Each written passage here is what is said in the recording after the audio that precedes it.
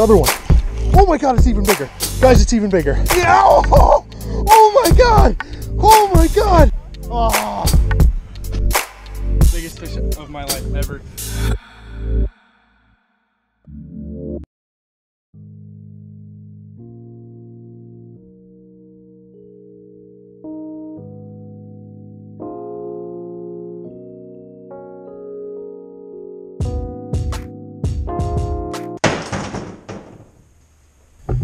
Folks, to another slightly exciting episode of Wisconsin Fishing and Outdoors. Today, we are here in a little bit of an echoey space. This is my garage um, where I've got all my fishing stuff set up for uh, getting ready for the 2019 fishing season. Open water season is fast approaching, whether we like it or not, so it's nice to get everything slightly organized. Don't look over there. It's pretty unorganized. Uh, the reason I just threw this onto the screen, uh, this is a 13 Fishing Origin C, uh, which I picked up, I believe last year was when these came out. Um, I picked one up right away as soon as it came out. I loved it for about the first couple months, um, but it has done nothing but sit in my reel box with all my other reels.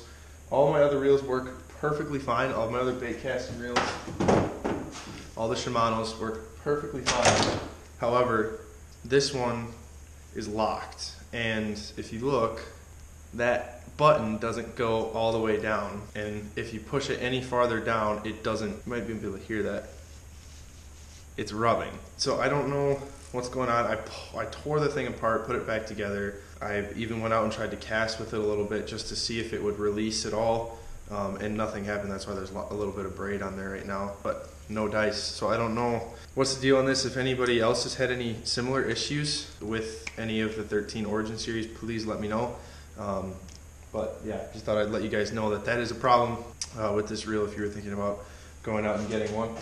However that is not the reason we are here um, in my garage today. We are here to talk about spring bass techniques. Now on my instagram uh, so about four or five days ago i put out a poll um, asking people whether they wanted to see a spring bass technique video or a rod and reel arsenal for 2019 video.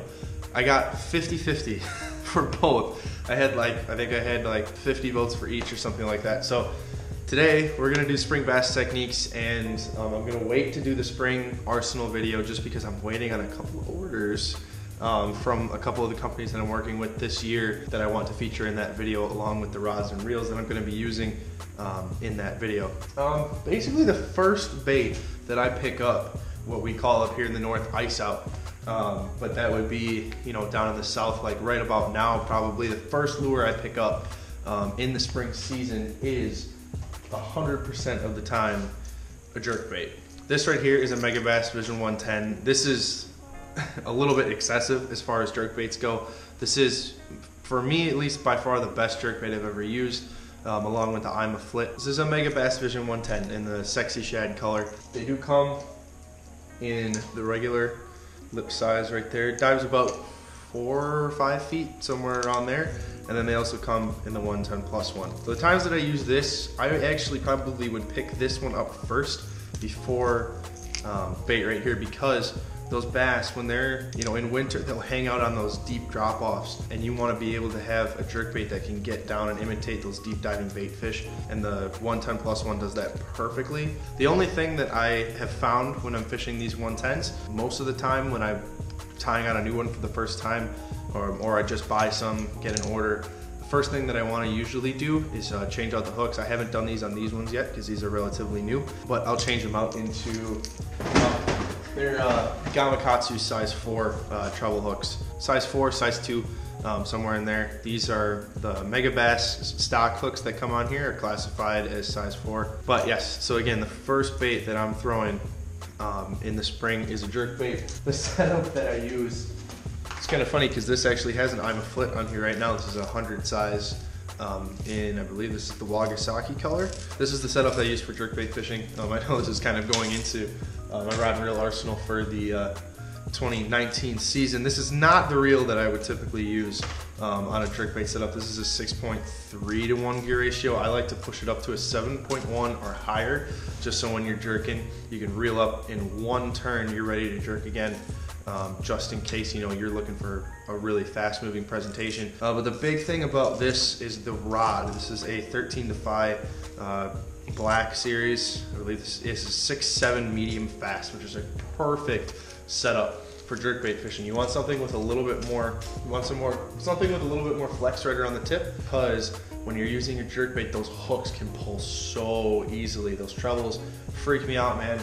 They do not stay pinned in fish very easily. So you want something with more flex. That's why you use fluorocarbon instead of uh, braid when you're jerkbait fishing, just to give those fish a little bit more leeway, a little bit more pull, so it's not directly uh, forcing on those hooks, whereas they might bend out or pull out of the fish. So again, bait number one, we've got the jerkbait. Second bait that I would pull out um, in the springtime is a simple swim bait presentation, whether that be something like this, where it's, you know, this is a Keitech I believe this is a swing impact fat, just normal, you know, paddle tail swim bait that you rig up on. You could rig it weightless on a Texas rig hook, or they also make swim bait specific hooks with weights on the bottom. And whether you rig it, you know, on a swim bait hook like that with the weight on the bottom, I believe this is a size five Gamakatsu, or they also come pre-rigged. This is a River2Sea, just regular pre-rigged swim bait, which these work great as well. The only thing I don't like about these is if you lose it, you lose, you know, a nice hook and uh, the swim bait.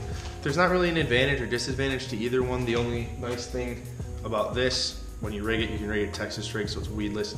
Um, but if you're just cruising open water, uh, wanting to get down a little bit deeper, this has got a nice big weight.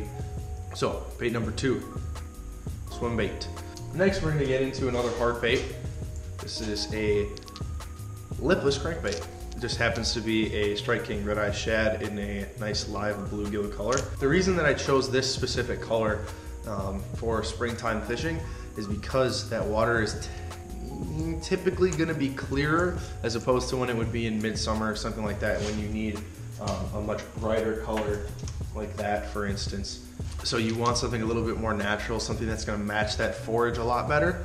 Um, and I know I preach in a lot of my other videos, you wanna differ a little bit from the forage, but in the spring, you really wanna get about as close to it as you can, otherwise those fish might actually shy away from that bait. So again, the lipless crankbait's great just for covering water. If you're going to a new lake in the spring, um, you're fishing open water, kind of not shallow, maybe a little bit deeper, this is a perfect bait to cover water and find fish. I have always found, you know, ones that would have a nice big rattle in there. This is a two tap tungsten. So this one's got a super loud knock.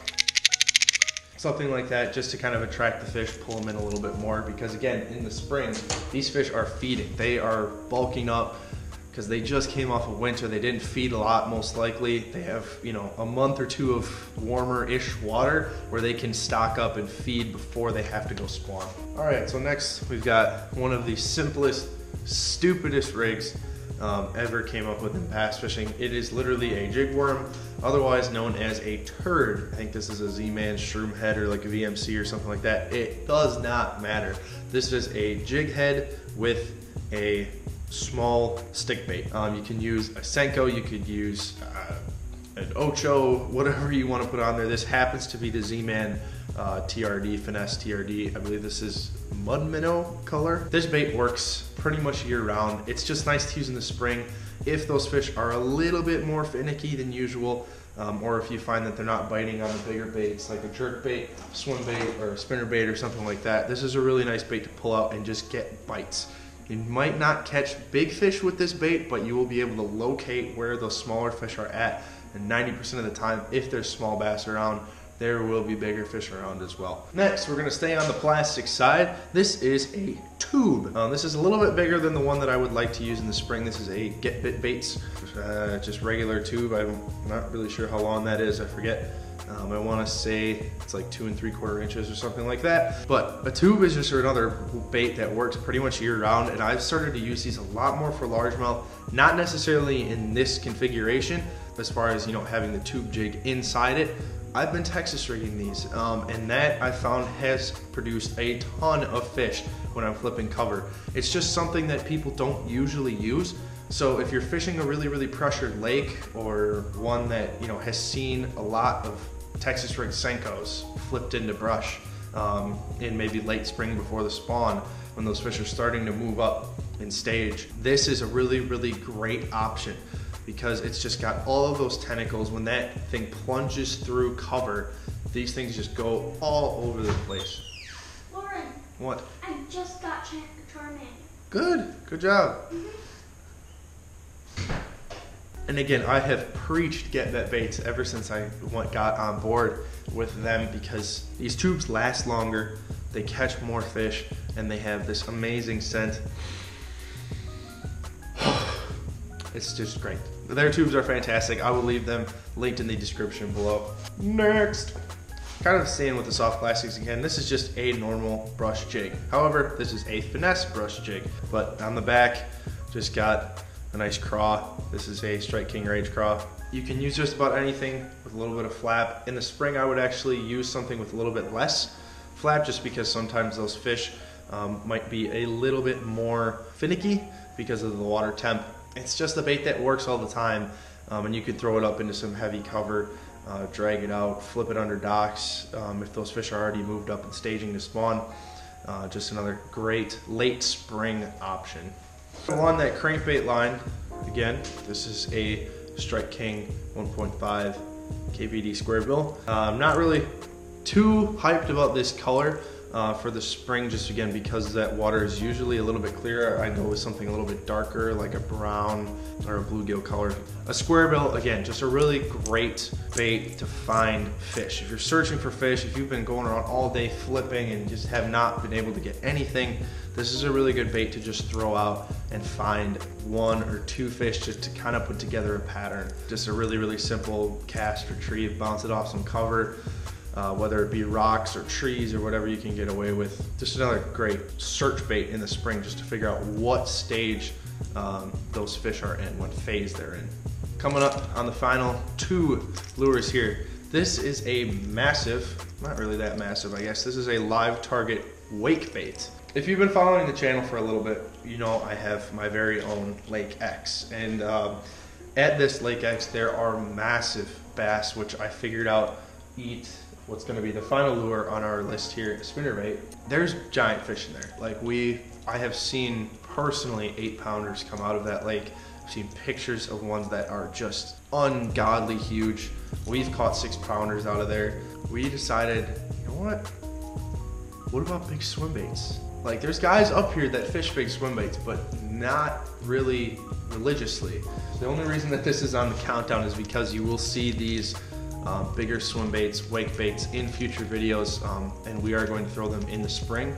If you guys haven't ever thrown big swim baits like this, I absolutely urge you to try it. This is gonna be my first year really trying to throw these a lot more um, because this is Wisconsin. We don't really have that many, you know, seven to 10 pound bass, but this lake does. So, you know, we're gonna try and try and use a southern tactic up here and see if it produces, you know, a couple PBs for us this uh, spring and then and, then into the summer. So, big swim baits, not really a practical decision if you're fishing like a normal lake, um, like Lake Winnebago or something like that. But if you're fishing a lake where you know there's giants, absolutely throw big swim baits. All right, final serious lure on the countdown. This is the money making deal right here. I bought about 18 of these after last spring uh, when we had our spinnerbait feeding frenzy. I'll put up a couple clips and uh, some pictures from uh, last year. Feel busting, and I heard like that.